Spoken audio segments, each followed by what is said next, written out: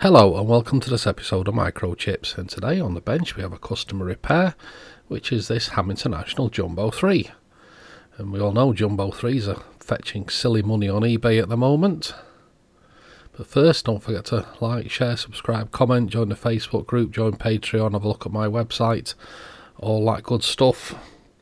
And now a quick word from today's video sponsor. PCBWay. PCBWay is a China Shenzhen based PCB manufacturer and printed board assembler with more than a decade in the field of PCB prototype and fabrication. They offer a wide range of services including 3D printing, CNC machining, sheet metal fabrication and much more. PCBWay also offer a prototype PCB assembly service with component sourcing and online quote with 24 hour delivery services. PCBWay is committed to meeting all of your PCB needs. They offer quality, on time delivery, and competitive pricing. One to two layer boards start at $5 with 24 hour turnaround. Get an instant quote by visiting PCBWay.com or click on the link below to check them out. So, thanks PCBWay for sponsoring today's video. Uh, let's have a look at this Jumbo 3. So I'm not sure of the fault, so we're going to have to find the fault and rectify it together. But outside doesn't look too bad, but looks can be deceiving. So we've, we've powered it up and we're transmitting, and it seems to be transmitting all over the place. The VCO doesn't seem to be steady. It doesn't seem to be transmitting on any recognisable bands. Yeah, there's something strange going on.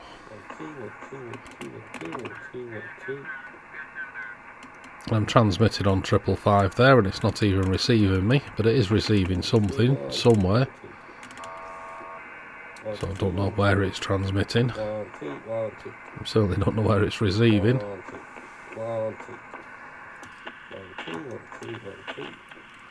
Yeah, it's definitely, definitely sounding very unwell. I mean, the modes seem to work, but it just doesn't seem to be. We have got something coming through, but it's not. There we go, we got a receive, but it's not where it should be.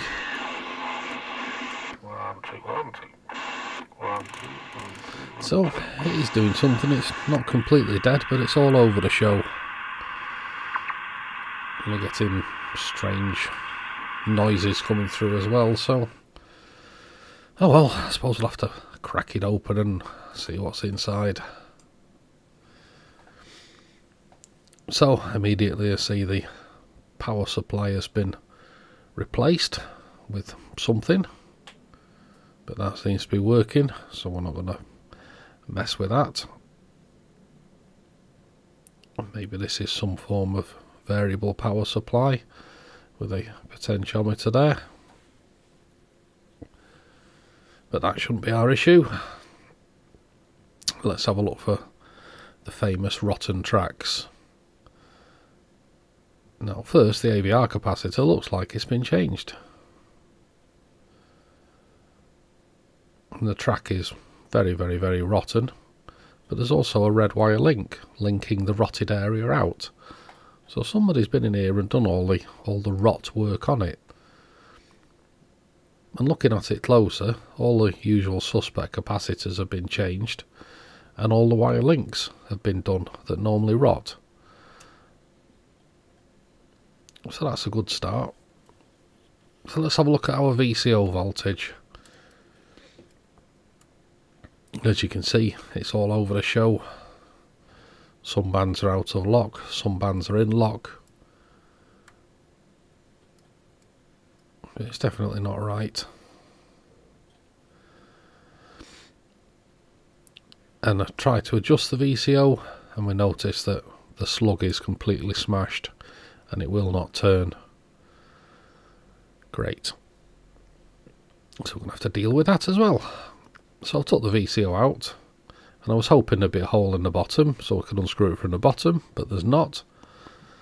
So we'll have to make our own hole sort of carefully drilled a hole through the bottom. If it wrecks the VCO, I'll just replace it. But we might as well try keep the original VCO because it was working.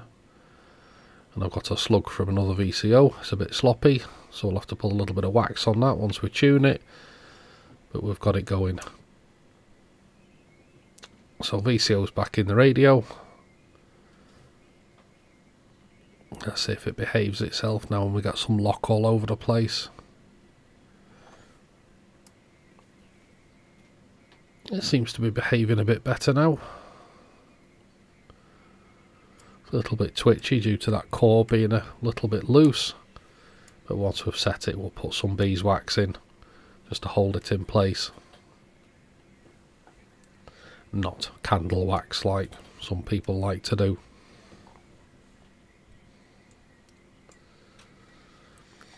But after a little bit of adjustment, a little bit of fine adjustment going up and down the bands,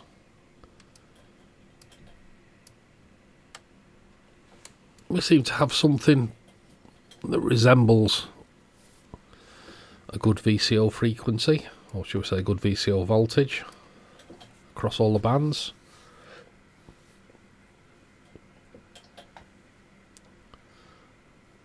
A little bit finicky to adjust, but we'll do the final adjustment once we actually get the radio working.